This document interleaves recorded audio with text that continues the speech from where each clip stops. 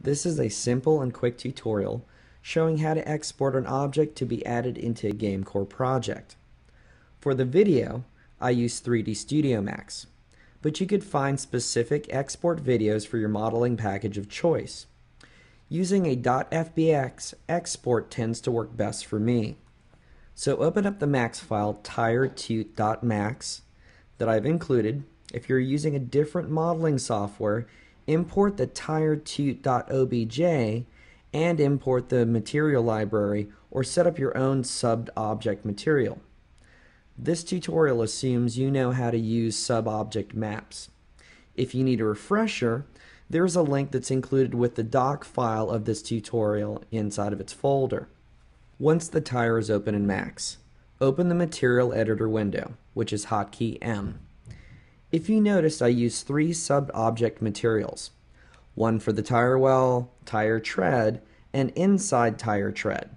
I have named each material in its similar fashion. It's important to get in this habit. When you import the object into GameCore, it will hold these names, and when you begin editing objects with 20 plus surfaces, you'll be very thankful for the labels. I've included the textures I used. If you need to set up your own materials, I use planar UV maps for everything. The first thing I do in preparation for an export is to make sure the object's placement and pivot point are set up properly. Position the object in the center and the pivot point where you want the rotational axis of the object to be. Then I save out the max file one last time before the export. Once the object is all set up, go to File, export or export selected. It will want you to name the export and pick the export file type. I always try to name the export object the same as the max file. In this case, tire tute. I always use the .fbx file extension type for max.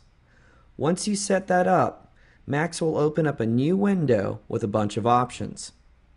The top part is what you want to export from the scene in this case geometry and materials. But I left a few things checked that are not present, like animation. If I had an animation in the scene too, I would like to uncheck this. The conversion method is really important. You want to set that to add fbx underscore root node or everything else will get all wonky.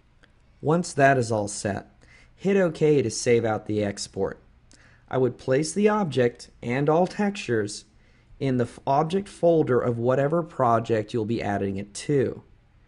Now you're ready to import into GameCore.